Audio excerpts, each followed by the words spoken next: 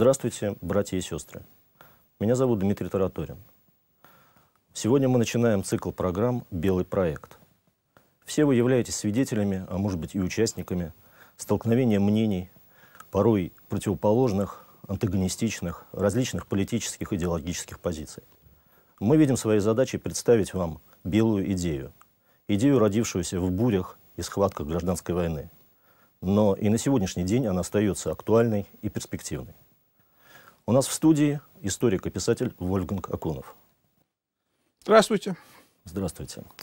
Вольфганг Викторович, э, на мой взгляд, достаточно парадоксальное явление мы сегодня наблюдаем э, в нашей культурной среде.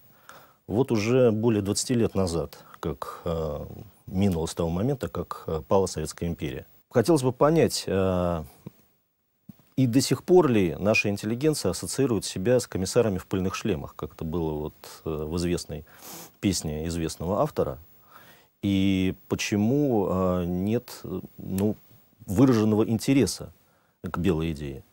Ну, для начала надо сказать, что интеллигенция всегда придерживалась левых взглядов. Причем это касается не только русской интеллигенции, или, как говорят, ордена русской интеллигенции, но интеллигенции вообще. До сих пор, если вы посмотрите на эту прослойку в мировом масштабе, гей, красный комиссар всегда милей человека, который, возможно, боролся с э, таким явлением, как красная идея, теми же самыми методами, и убил в 10 раз меньше народу. Тем не менее, красный комиссар интеллигенции всегда милее. Милее, да, даже если она сама страдала от этих красных. Потому что, в общем-то, она чувствует, что это порождение ее собственных химерических воззрений. Поэтому, мне кажется, не обязательно искать союзников белой идеи в среде э, интеллигенции. Мы должны идти в народные массы, которые, в общем-то, и были основными двигателями или движителями реального белого движения. Именно к народу, а не к интеллигенции обращался э, Иван Ильин, который лучше всего сформулировал белую идею. И именно народные армии защищали адмирала Колчака. В меньшей степени, может быть, это относится к вооруженным силам Юга России и к русской армии генерала барона Врангеля, но опять-таки основную ее часть составляли э, не только не офицеры, и даже когда речь идет об офицерах, то мы не должны забывать, что это в массе своей были офицеры военного времени. То есть те же самые представители непривилегированных слоев бывшей Российской империи, которые кровью своей заслужили свои офицерские погоны. И совершенно сознательно направились на борьбу с красными, которые, с их точки зрения, означали не только государственную измену, потому что большевики пришли к власти через государственную измену, нанеся удар в спину своей собственной стране, ведшей войну, потребовав отказаться от всех тех условий, которые должны были идти на пользу России э, в результате победы над Германией, знаменитый лозунг «Мир без аннексии и контрибуций». Ваш покорный слуга в детстве, еще мальчиком, когда читал э, книжку Гайдара, которая называется «Школа», я удивился, там он описывает, что э, попал на какой-то митинг, и там э, выступает большевик и говорит «Мир за, без аннексии контрибуций». И крестьянину говорит, зачем тебе Константинополь, ты что, повезешь туда картошку продавать или что? То есть, понимаете, я думаю, почему? А потому что очень просто. Потому что Англия, которая ни в коем случае не хотела допускать Россию до проливов и всегда вмешивалась, каждый раз, при империи или позднее, когда русские войска доходили до проливов, до Константинополя, она ни в коем случае не согласна была допустить победы такого режима в России, который бы напомнил о своих требованиях законных. А большевики, которые, как известно, отказались от всех договоров, заключенных царской Россией и Россией, так сказать, до взятия ими власти, были им более симпатичны. И когда мы внимательно присмотримся что кроется под этой легендой большевистской, о якобы походе 14 буржуазных государств да, да, да. против молодой Советской Республики интервенции, мы увидим, что главным образом это была кажущаяся поддержка. Англичане до тех пор, пока Германия не была побеждена в Первой мировой войне, они следили за тем, чтобы склады воинского имущества в Архангельске, в Мурманске не были, были захвачены немцами или финнами, союзными с ними. И, кстати, знаменитый десант англичан с крейсера «Глория» в Мурманске в 18 году, он произошел с согласия местного совета солдатских рабочих депутатов большевистской. Как только эта угроза исчезла, они тут же очень быстренько свернули манатки и уехали. Да. Оставляя российский народ русский народ на растерзание большевикам. Да. да. Но вот хотелось бы в связи с этим вернуться к собственной идее. А, мы сталкиваемся с каким интересным феноменом. А по-прежнему в массовом сознании коммунизм а, ассоциируется с добром, но криво реализованным добром, скажем так. Мало кто понимает, ну совсем мало кто понимает, что в основе идеи лежит зло. Зло как ложь, фундаментальная ложь. Ложь о равенстве людей, ложь о возможности построения рая на земле. И экстраполировалась в дальнейшем, это фундаментальная ложь, и в лозунгах, собственно говоря, большевиков. Вот то, о чем вы сказали, о национальном предательстве. То есть в контексте большевиков, наверное, э, сложно даже говорить о неком национальном предательстве, поскольку для них нация не существовала вовсе. Они манипулировали э, популистскими э, некими такими вбросами, которые были фундаментально лживы. Те же мир народам, земля крестьянам, фабрики рабочим. Ни те, ни другие, ни третьи, как мы знаем, не получили ни того, ни другого. Мало того, земля крестьянам это вообще был не большевистский лозунг. Большевики долгое время, до последнего момента, пропагандировали как раз обобществление земли, превращение, так сказать, бывших частных крестьянских ли, помещичьих ли земельных владений в коммуны. Но только в последний момент они э, украли у эсеров этот лозунг. Эсеры были настолько наивны, кстати, интеллигенты, да, да. в массе своей, что пытались еще большевиков усовестить, так сказать, говоря, что как же так, это наш лозунг, как вы его украли, как вы могли украсть. Они действительно украли, но потом очень спокойно к 30 году, к 29 году спрятали этот лозунг в карман да. и осуществили ту самую коммунизацию земли, новое колхозное рабство, которое им не удалось добиться осуществления в ходе гражданской войны, как известно, 21 год, пик крестьянских восстаний, Кронштадтское восстание, когда моряки, казалось бы, да, краса и гордость революции, те, которые совершили в основной своем э, массе э, Октябрьский переворот, увидели, что... А кто моряки? Тоже крестьянские сыновья. Увидели, что творится у них дома. Письма получали от родителей и э, взялись за штыки, взялись за оружие. И не случайно большевики подавили Кронштадтское восстание – силами съезда, депутатов съезда своей большевистской армии. То есть партии, они не были уверены в том, что Красная Армия согласится повернуть штыки против своих же собственных То есть братьев. силами номенклатуры фактически, Конечно, номенклатуры. Да. Конечно, поэтому говорить о том, что в народе живут большевистские лозунги в массе своей, я думаю, это не совсем правильно. Я думаю, это группка клокеров, которые присвоили себе право говорить от имени народа. Вот они вопят, да, когда идет речь о выносе тела Ленина из мавзолея, из этого зиккурата, начинают вопить, что вот народ не поймет. Да? Извините меня, кто вы такие, чтобы говорить от имени народа? Что, проводились какие-то всенародные референдумы на эту тему? Проводились какие-то опросы, кто считал голоса? Нет, вот эта группка, она монополизировала, как знаменитый Фома Фомич из села Степанчикова, да, я знаю Россию, и Россия меня знает, да.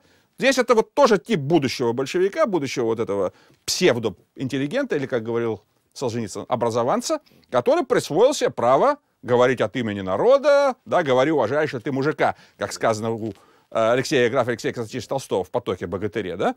Уважаешь ли ты мужика? Но поток вопрошает, какого? Мужика вообще, что страданием велик. Но поток отвечает, мужик и мужик, если он не пропьет урожаю, я тогда мужика уважаю.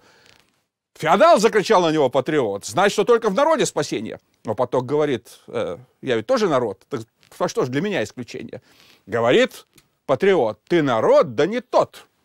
Править Русью ведь призван лишь русский, э, русский народ, э, то по-старому что-то как-то всяк равен. Нынче он лишь один равноправен. Понимаете? То есть вот вся демагогия очень здорово была изложена у графа Алексея Константиновича Толстого. Узурпация, Узурпация насилие. И вот вы упомянули пресловутый зиккурат. Да. Хотелось бы в этом смысле поговорить о символизме. Э, вот, э, собственно, символизм белого и красного. А когда появилось белое как антитеза красному, и какой смысл вкладывался э, в белый цвет? цвет? Белый цвет – это исконно символ христианства. Да?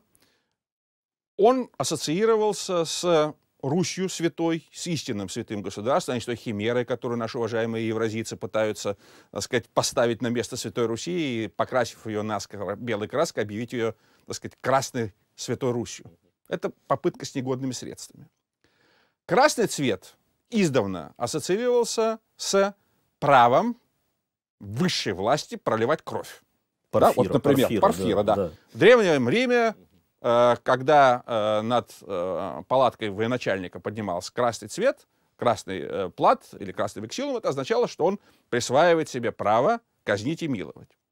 И в этом смысле бунтовщики, которые поднимали красное знамя с древнейших времен, впервые это засвидетельствовано в V веке, на рубеже V-VI века в Иране, Сасанитском, когда произошел первый коммунистический эксперимент в истории — восстание маздакитов. Угу. Был такой священнослужитель зарастрийской веры, который впал в зарастрийскую ересь, Маздак, и он объявил, что создаст государство равенства, вплоть до обобществления жен. Кстати, это впервые было сделано да, да, да, при Маздаке социализации женщин, да. как говорили большевики, да? что они реально практиковали.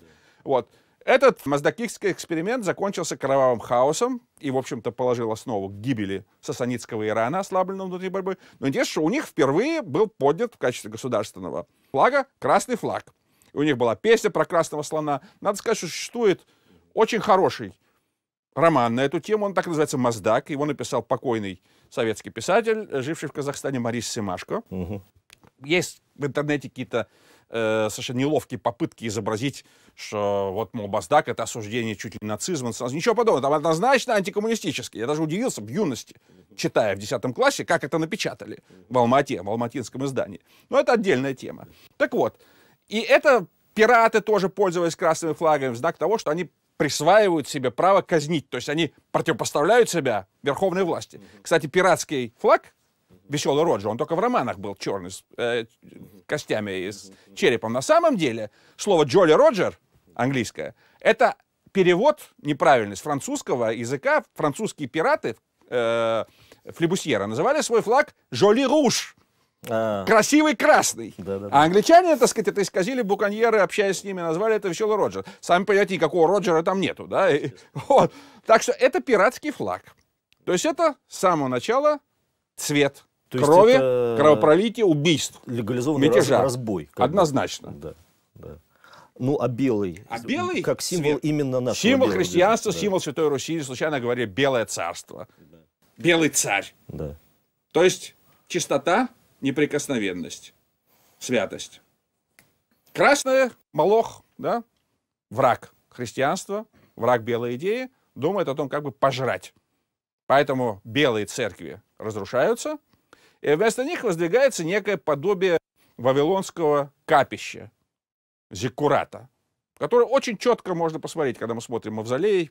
Особенно э, более похож был еще э, на свой прототип, был первый мавзолей деревянный. Он просто напоминает гробницу царя Кира в Персеполе да, развалины. Да, да. Вот. Ну, потом чуть-чуть его изменили, но это типичная вавилонская башня. То есть символ противопоставления Богу, символ мятежа. стремления мятежа, желания войти, взойти на небеса, да, и причем создательно говорит, что большевиков была такая песня пионерская.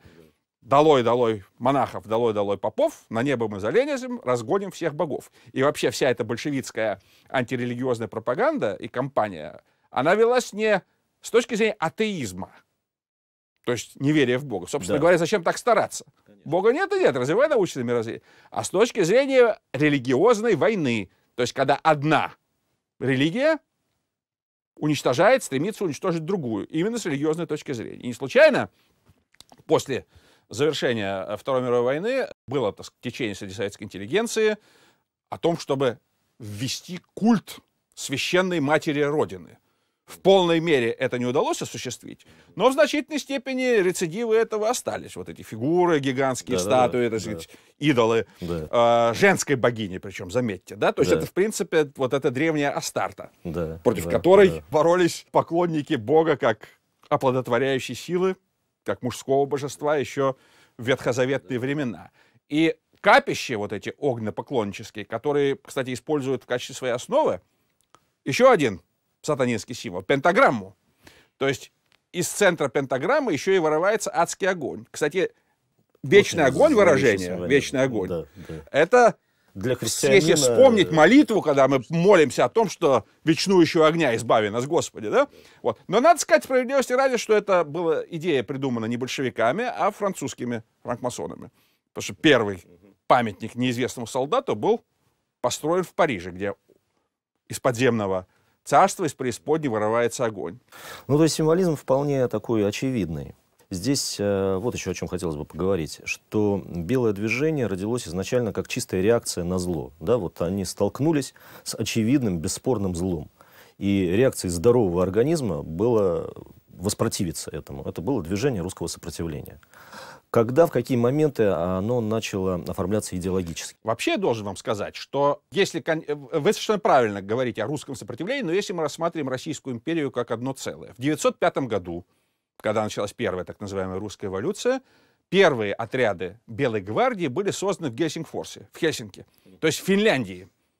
Красные отряды Красной гвардии создавались повсюду uh-huh. в Российской империи, а вот под названием Белая гвардия они были созданы в Хельсинки. И, кстати, второй раз это повторилось в 1918 году. И там, так сказать, э, тоже борьба... Был такой очаг, да? Да, вот интересно. интересно вот. да. Значит, в Москве в 1917 году, во время декабрьского вооруженного восстания против большевиков, которые пытались захватить власть, были созданы отряды, состоявшие в значительной степени из учеников юнкерских училищ, кадетских корпусов и студентов. Кстати, этот момент э, достаточно старательно замалчивался советской пропагандистом, что студенческие дружины сражались против большевиков. И тогда впервые уже на территории Москвы появилось название «Белая гвардия».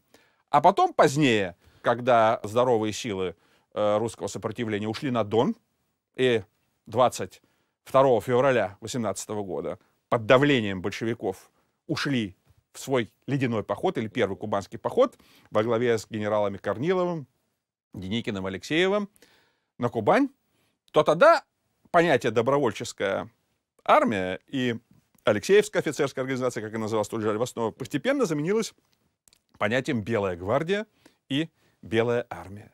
Таким образом, эта идея как бы повторила понятие Святой Руси, Белого царства, Белого острова, да, как говорит древний Арис, Швета-Двипа, противопоставляя это темным силам, темному э, скопищу низших сил, инфернальных сил. Интересно, вот это вот э, триумф э, быдла, э, не побоимся этого слова, а он отражен ведь и в воспоминаниях тех, кто встал на сторону красных у того же Бонч Бруевича. Мне запомнилась замечательная картина, когда он сказал, что э, первые дни революции для него ассоциируются с семечками, чтобы бесконечный шуршачий ковер семечек.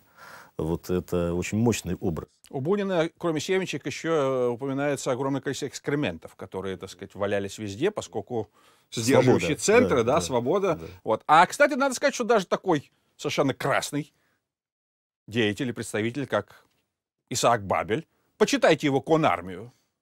Там очень четко и фотографически он описал своих же собственных сподвижников, которых он подвигал на бой. Но это им не мешало ему с фотографической такой холодностью фиксировать все это. То есть вообще до начала Второй мировой войны, да, если вы почитаете, Серафимовича, «Железный поток», да, там того же много Фурманова, вещей, Чапаев, да. они совершенно откровенно да, изображали да. то, что видели. Причем надо сказать, что, видимо, э, если бы они писали по-другому, то их же собственные красные соратники удивились бы. Потому что они считали, что нечего стесняться. Все равно все скоро наше будет. Ну, Кого стесняться? Никакого, так сказать, понятия буржуазной нравственности нет, буржуазной морали нет. Есть только революционная классовая целесообразность. И поэтому в том же самом Чапаеве, даже не будем брать железный поток, где запомнился замечательный момент, когда, чтобы выяснить, где находится станичный атаман, красный командир стоит и рубит бегающих по хате казацких детей. И э, их мать, ползая у него в ногах, значит, хватается э, за сапоги, он в конце концов, как нам сказано, э, развалил череп хохотавшей матери. Хохотала она, потому что она сошла ну, с ума. И так далее. Вот. А, скажем, даже Фурманов, казалось бы, более-менее средний в описании ну, зверств. Окультуренный да, такой уже. Окультур... У него там замечательная фраза. Причем я маленьким мальчиком читал книжку Чапаев. Вот, там описывается, что герой, видимо, сам Фурманов, э, только его там зовут Федор Клычков, комиссар, которого прислали к Чапаеву, пленного колчаковского офицера, смотрит документы и находит у него в кармане письмо. Письмо у него, значит, э, написано от невесты. Почему-то он решил, что Поповна. Это, видимо, тоже отчекчаще. И она там пишет ему в конце, что, э, дорогой мой, Желаю тебе как можно скорее победить безбожных большевиков, слуг антихристовых, и вернуться с победой домой. И тут у Федора Клочкова такое зло взяло, что велел расстрелять этого офицера. Только за то, что он прочитал это письмо у него в кармане. Причем никакой нотки осуждению Фурманова это не вызывает. Тут есть а даже после войны, извините, лю- вот после войны- и упоение злом Конечно. вот во всех этих А эпизодах. вот после войны уже начались всевозможные неуловимые мстители вместо красных дьяволят, Да. какими они и назывались, совершенно сознательно, да, Да, да. И романтизация. Хотя, в принципе, такие романтики были и до войны, скажем, Багрицкий. Вот у него уже, Да, так сказать, да, да, начались там такие... Хотя он тоже, так сказать, э, не стеснялся иногда в описаниях. А вот, допустим, э, если взять такого, как Фадеев, да, писатель, у него тоже на грани между романтизацией, но в то же время у него описано, если вы помните в его известном романе «Разгром», значит, как э, большевистского шпиона метелицу поймали, расстреляли, и потом, значит, э, красные захватили эту деревню и ведут на расстрел. Кого? Они ведут на расстрел мужика, у которого в доме сидели белые офицеры играли в карты. И ведут на расстрел папа. Уж поп-то никакого отношения вообще не имел ни к выдаче метелицы, ни к чему. И он, значит, тоже В рамках в религиозной рамках войны. религиозной пропаганды, конечно. Поэтому очень забавно выглядят теперешние потуги наших теперешних красненьких выставить себя чуть ли не защитниками христианских ценностей. Просто, да, Да, потрясающе. против, э, как даже иногда белых масонов. Что белые, мол, все были масоны, понимаете? Вот, Масоны, кстати, перешли на сторону красных конечно. из офицерства. Конечно. Это Кстати- многое объясняет. Кстати, да. Так что, в общем, э, Брусилов. Брусилов, из Тухачевский. интеллигенции, да, возьмем замечательного Брюсова, да, который был э, убежденным не был, сатанистом, да? да, да. Понимаете, а закончил своей песней, что горе, он, горе умер Ленин, вот лежит он Тленин, Тленин, там не помню, Да, в да, каком да, да. духе. Вот. Ну, вот э, мы начали уже об этом разговор, что действительно первоначальное сопротивление, оно не было белое сопротивление, оно не было идеологически оформлено. Это была действительно реакция нормальных людей, которые увидели, что все, что они считали нормой и самоочевидностью некой, попирается у них на глазах. Самым наглым, беспардонным образом. Совершенно. Но в этом же была и определенная слабость. То есть они не уловили момента, когда все скрепы, э, модное сейчас э, с некоторых пор выражение, э, разлетелись. Разлетелись в дребезги все то, что они считали незыблемым и самоочевидным. Что все самоочевидности порушены. И вот здесь вот у них был, конечно, элемент запаздывания с формулированием смыслов, новых смыслов, которые могли бы противостоять очень мощным смыслам, предлагаемым красным. А вы знаете, Дмитрий, что я вам хочу сказать? Непросвещенный, может быть, взгляд вашего покорного слуги. Дело было в одном моменте, в одном упущении. Да? В свое время Арсений Несмелов писал, что у красных была их идеология, да, весь мир насилием мы разрушим и так далее. А у нас что? Москва, золотые маковки. Э, понимаете, в чем дело? Э, вашему покорному слуге приходилось э, заниматься исследованиями, сравнениями Октябрьской революции и гражданской войны в России Мгм. и ноябрьской революции в Германии 18 года. И там, так сказать, по 23 год, в принципе, делать все время попытки при помощи Коминтерна установить большевистскую власть. Беда России в этом плане заключалась в том, что недостаточно широко пропагандировался национализм. Понимаете, в чем дело? И поэтому, как это ни странно может показаться, люди оказались восприимчивы к этой интернационалистической идеологии. Если бы какому-нибудь среднему немцу в 18 году сказали, что вот ты будешь братом китайцу и африканцу, он бы дико посмотрел дикими глазами. Я не беру э, экстремистов красных, которые были и там. Насколько они были немцы, другой вопрос. Вот. А в России, к сожалению, в этом плане было сделано очень мало. Может быть, это, конечно, было связано с многонациональным характером российского государства, но и то, в то время понятие «русский» было понятием собирательным. И любой чеченский офицер из дикой дивизии и э, остзейский немец, они себя считали прежде всего русскими, а потом же все остальными. Кстати, большевики не случайно разбили на три части понятие «русский», которое включало в себя три народа – великороссов, малороссов Мгм. и белорусов. Повезло в кавычках только белорусам, но за счет их немногочисленности. Отменив понятие «великоросс» как якобы шовинистическое, да, великорусский шовинист, хотя еще у Ленина были статьи, которые А назывались «Национальный гордость гордость великороссов». великороссов, да? да, да. Тем самым разбили скрепы, соединявшие. Получилось, что три разных народа из одного. Понимаете? И вот таким образом, действуя путем разжигания местных, зачастую совершенно местечковых, если можно сказать, таких сепаратизмов и национализмов, да, дробили тело единой русской нации, многонациональной русской нации, где никто не был утеснен, никто не был унижен, никаких выселений, как в советские времена, да, десятками тысяч с одного места на другое. Абсолютно древневосточный в своей Абсолютно стилистике. древневосточно-ассирийское. То же самое, вспоминаем Зиккурат Да, и прочее. да, да. Не было. И тем не менее, царская Россия до сих пор в умах или в тех местах, где у разумных людей содержится ум, э, людей, э, царская Россия — это тюрьма народов, это жандарм Европы, а, извините меня, Советский Союз, Советское государство... Это светоч, наоборот. Это светоч, наоборот, и пример мира. для всех, Да. понимаете? Причем любопытно, что то же самое, что творилось в России, повторялось и в других государствах. Возьмите Кампучию, возьмите Китай, возьмите Северную Корею и прочее. То есть дело не в том, что вот как некоторые говорят, вот Отдельные народ перегибы, плохой, вот да, идея да, марксизма да, хорошая, да. но вот как жаль, что Марксово наследство попало в русскую купель и так далее. Ничего подобного. Есть очень хорошая книга, группа французских исследователей, она из- издана была в конце 80-х, начале 90-х годов. Она «Черная книга коммунизма». Она издана на русском языке. Вот. Все, страна за страной, год за годом, совершенно основательно количество жертв.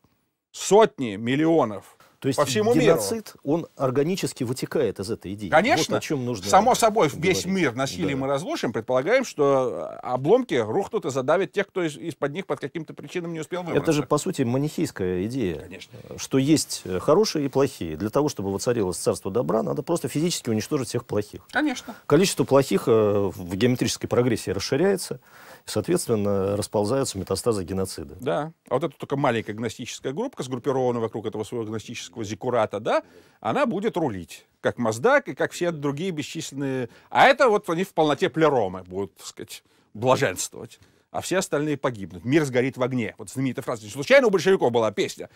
Блок даже ее включил в свои 12. Мы на горе всем буржуям мировой пожар раздуем. Мировой, мировой пожар э, горит, буржуазия. Потом уже добавили, Господи, благослови, да? Вот, так что... э, пели песни в школах еще пионерские. Мы пойдем к буржу- буржуям в гости, поломаем им все кости. Понимаете? Вот. Да. И прочее.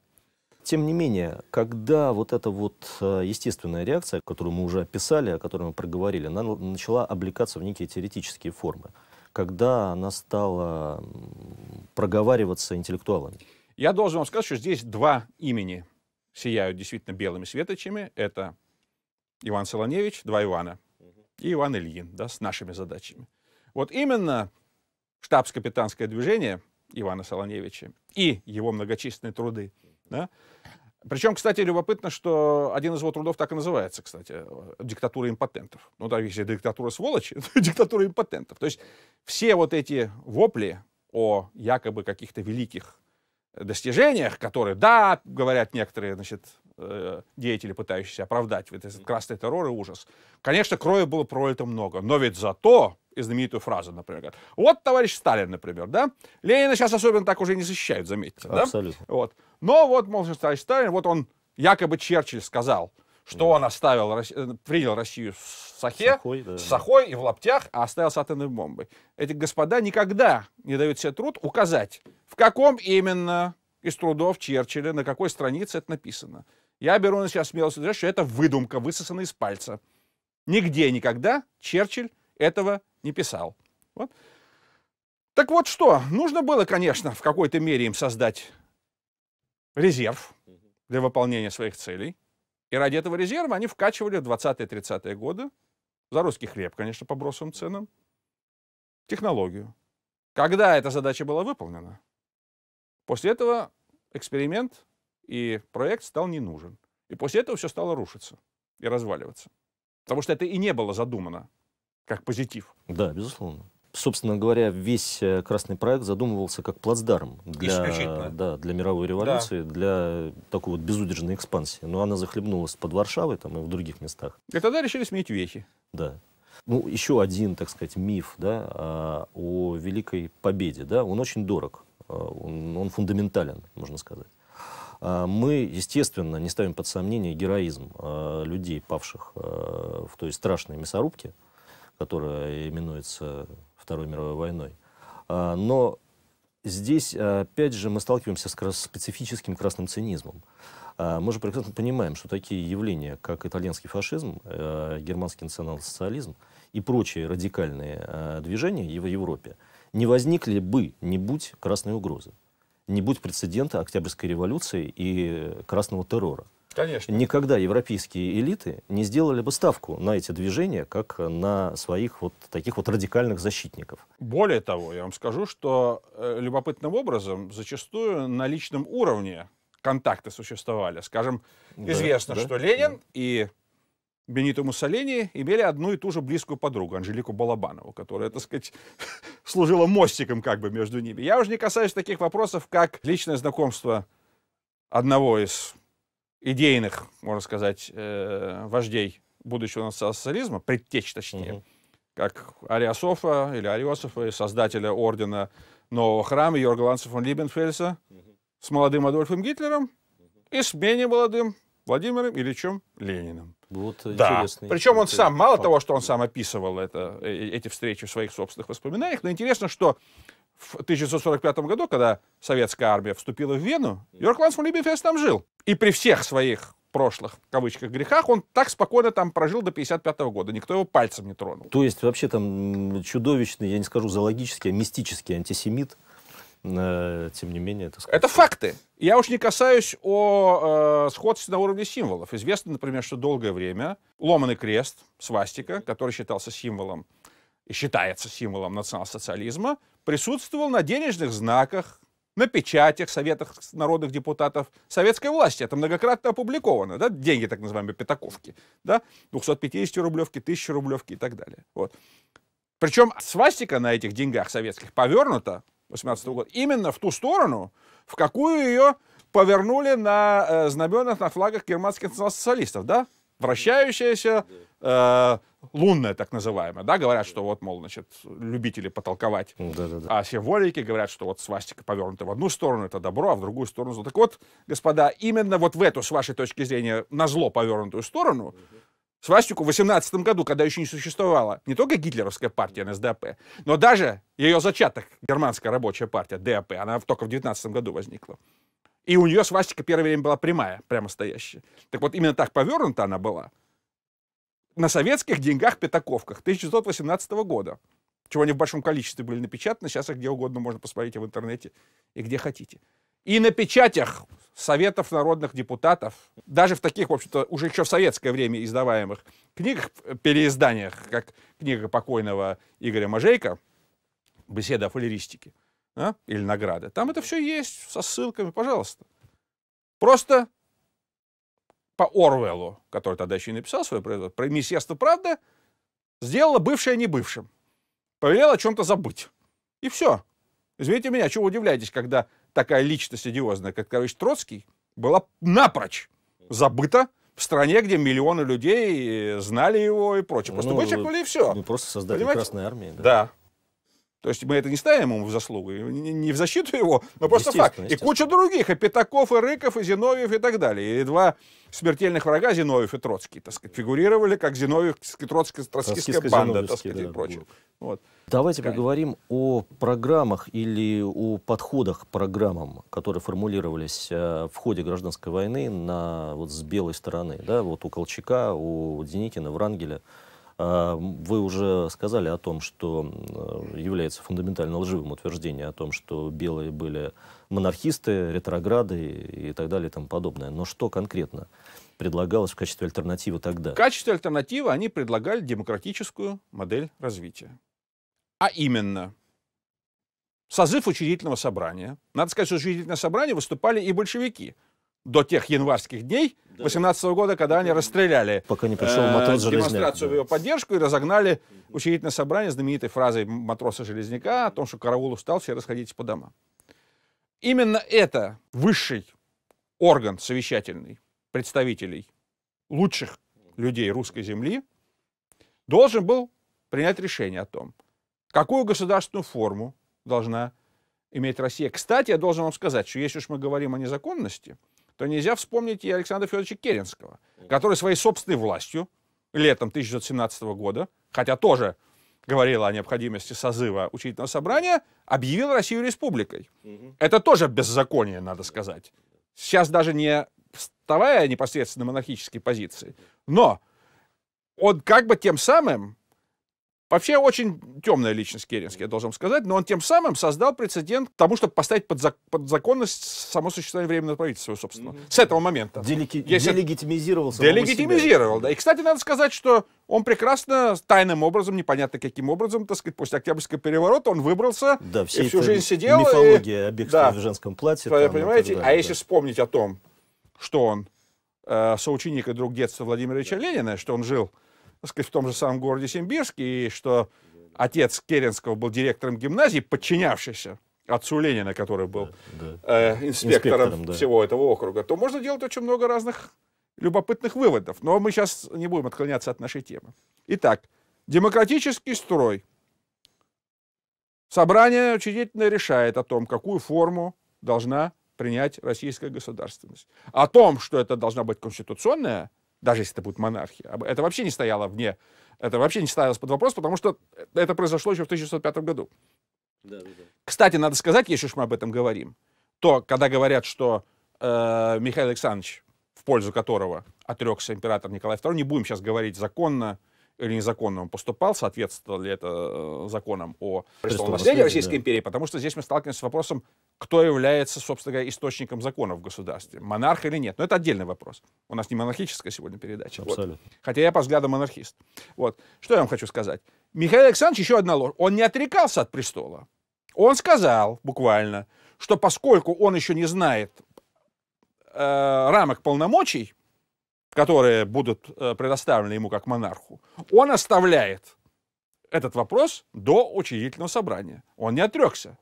Это тоже ложь. Кстати, и вопрос о том, отрекся ли формально Николай Александрович, Николай II, тоже вопрос, потому что это не отречение, это просто была телеграмма, причем он его подписал карандашом. Вот, а, так сказать, э, те февралисты, которые его поставили перед фактом, они раструбили это как об отречении. Понимаете? Вот. Мы уже не будем касаться вопроса с самого начала временное правительство, насколько было легитимно в сознании людей, потому что большевики в своей пропаганде, пропаганде. они говорили, что это.